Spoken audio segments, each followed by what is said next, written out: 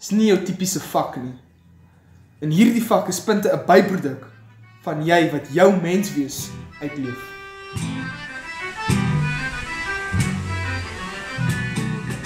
Watter skool het 'n kathedraal?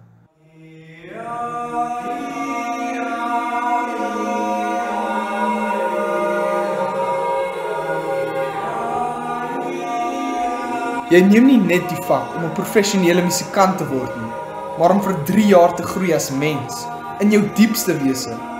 Kom ervaar emosies, ervaar vreugde, hartseer, vrede en 'n nuwe wêreld wat vir jou kan oopmaak.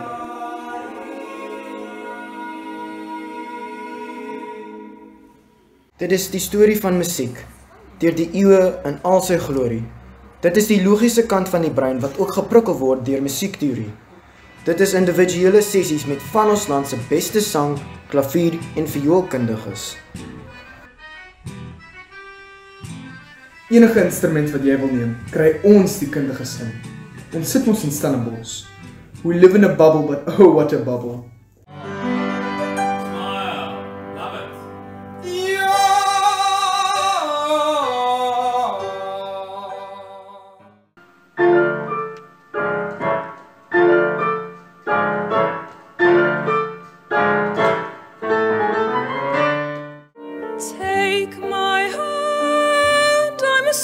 Stranger in paradise, or lost in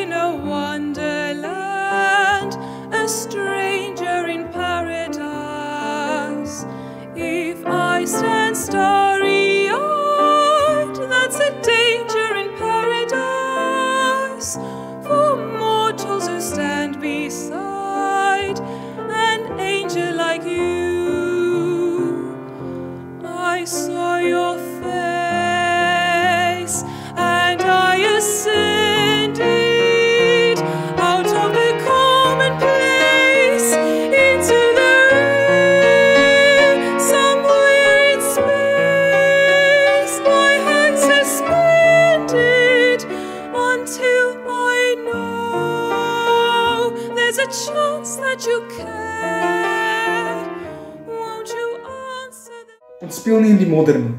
Ons wys jou 'n ander manier van dink, 'n hoër standaard van dink, lewe en optree.